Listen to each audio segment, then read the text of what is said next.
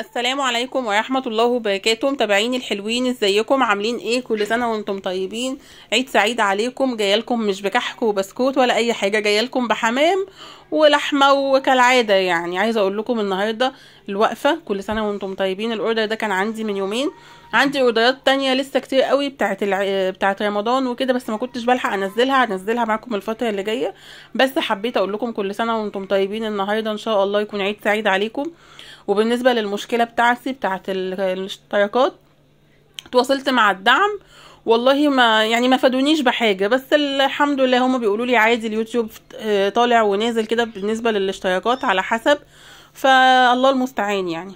بس أنا كنت حابة أقول لكم كل سنة وأنتم طيبين وعايزة أشكر الحاجة أم إبراهيم بجد. عايزة أقول لكم أنا دموعي نزلت لما كلمتني النهارده تعيد عليا.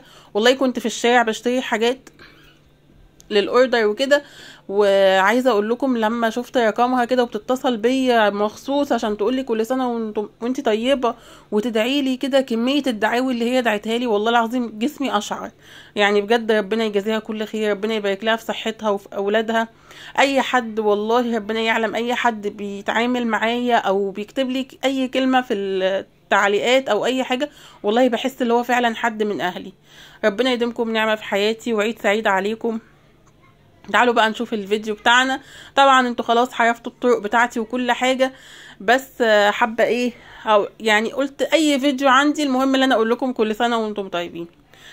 بصوا بداية كده بقى أنا كان عندي آه، الأوردر كان ده, ده كان أوردرين. أوردر فيه لحمة ورز وشوربة وحاجات كده وأوردر تاني هنشوفوه بصوا زي ما أنتوا شايفين كده أنا كان معايا لحمة اديتها تشويحة كده بمعلقة سمنة وفص مستكة وبعدين أول لما اتشوحت قمت بقى نازلة عليها بمية مغلية وحطيت بقى بصل وطماطم وعندك ورق لوري حبهان فلفل أسود الحاجات اللي انت بتحطيها في الشوربة بتاعتك العادية. وسبتها بقى كده إيه على نار هادية لغاية لما تستوي.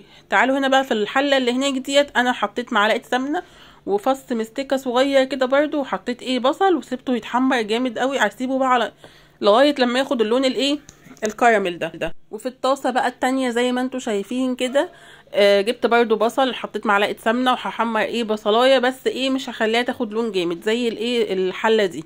ليه بقى؟ لأن أنا بحب في الحمام في حشوة الحمام أدي البصل لون ذهبي كده غامق شوية. بعد كده بقى أول لما البصل أخد لون قمت نازلة طبعا بالكبدة غسلها كويس قوي.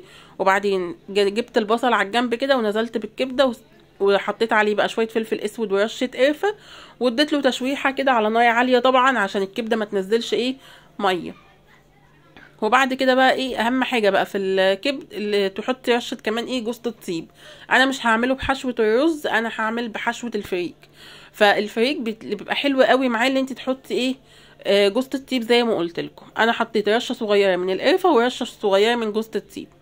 هبدأ بقى أشوح كل الكلام ده مع بعضه. في الطاسة التانية بقى هعصج لحمة بالطريقة العادية خالص.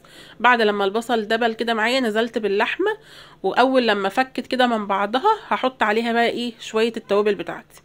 تعالوا هنا بقى نحط إيه الفريك. زي ما أنتوا شايفين الفريك دوت أنا غسلاه كويس قوي ونقعاه حوالي ربع ساعة كده. وبعد كده بقى أو هصفيه من المية كويس وهنزل عليه إيه بالحشو. هنا بقى حطيت بقى التوابل لل- اللحمة حطيت بقى ملح وفلفل أسود وشوية من الإيه من البابريكا لو عندك تمام؟ أول بقى لما يتشوح بقى الفريك معايا كده وكويس قوي يديله تشويحة حلوة قوي التشويحة دي يعني إيه تحاولي تنشفيه من المية هنزل عليه بقى أظبط بقى الملح بتاعه وكمان أحط إيه فلفل أسود. وخلاص على كده. طبعا أنا حاطة جوز الطيب وحاطة قرفة مع مع الكبدة وهي بتتشوح. لو لقيت أنا لقيت الكمية بتاعه ال- جوز الطيب قليلة لأن أنا عاملة نص كيلو من الفريك فقمت مزودة حاجة بسيطة. تمام؟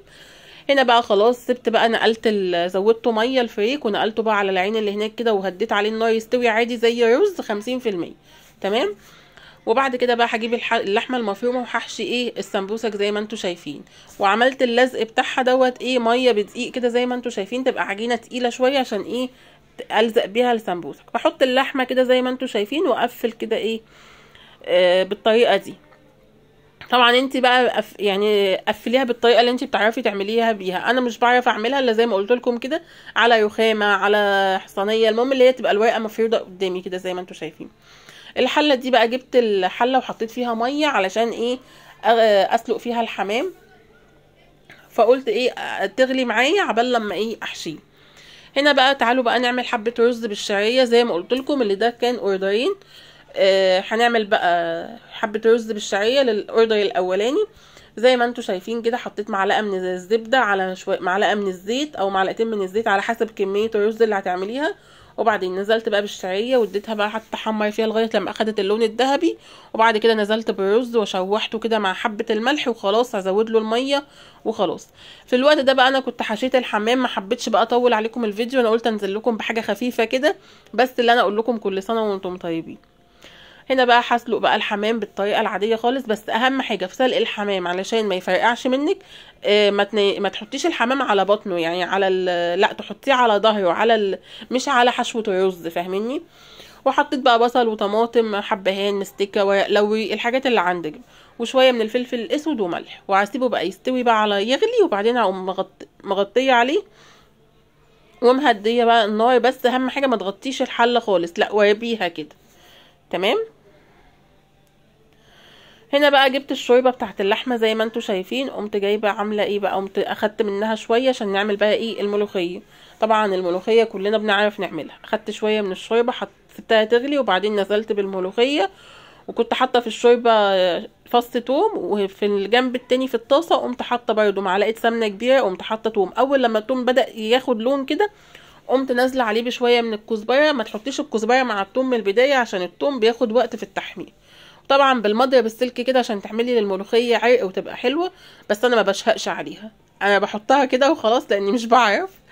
بس وخلاص على كده والملوخية بقت جاهزة معانا تعالوا بقى ناخد اللحمة كده زي ما أنتم شايفين حطيت مكعب زبدة وحطيت فص من المستكة. عايزة أقول لكم المستكة لما بتبقى عندي يعني لما بتبقى متواجدة عندي عايزة أقول ما بتكملش عندي لأن أنا بحبها جدا فبتخلص معايا على طول. أي حاجة بحط فيها مستكة. المهم قمت حطيتها بقى زي ما أنتم شايفين اللحمة في الطاسة وهديها بقى تشويحة مع الزبدة والفص المستكة هتبقى رهيبة. حاجة بسيطة يعني بصوا لحمة بطريقه خف... بسيطة ومش ما فيهاش بقى توابل وحاجات معقدة ياما كده بس بتطلع طعمها تحفة بالطريقة دي. تعالوا هنا بقى نقلي السمبوسك زي ما أنتم شايفين. أهم حاجة يبقى زيت سخن وغزير علشان تاخدي سمبوسك مقرمشة ومش شايبة زيت. تمام؟ هبدأ بقى أقليها بالطريقة العادية وهي ما بتاخدش وقت. ولم لو عندك مثلا عزومة أو انت عاملاها الغدا أو كده انت تقليها على الغدا على طول. يعني تحاولي ان انت إيه ما تقليش كمية تقلي على قد الاكله يعني عايزة أقول لكم إن السمبوسك دي اتقلت قبل الدليفري ما يجي بخمس دقايق بالظبط. وده بقى شكل ال order بتاعنا. زي ما قلت لكم ده order وده order. وادي الحمام لما اتحمر لونه تحفة والملوخية وبقية شوربة اللحمة. والسمبوسك وادي بقى الرز بالشعرية وعليه اللحمة المستكة. بجد كان الحاجة ألف هنا وشفا ليهم. وكل سنة وأنتم طيبين والسلام عليكم ورحمة الله.